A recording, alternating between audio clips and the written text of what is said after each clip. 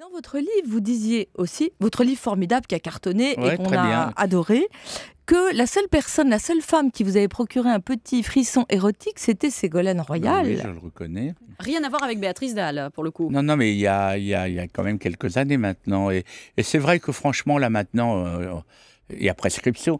Mais là, franchement, toutefois, j'étais très sévère avec elle. Et là, je trouve qu'elle est plutôt un bon Voilà. ministre de J'allais vous l'écologie. dire, revival. Franchement, elle est formidable.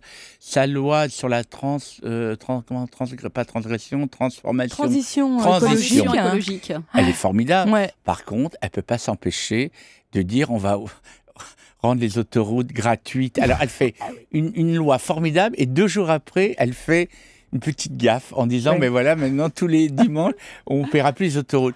C'est ça en même Ouais. temps son charme. Mais- et franchement là je la trouve j'espère qu'en 2015 en fin de compte je la reverrai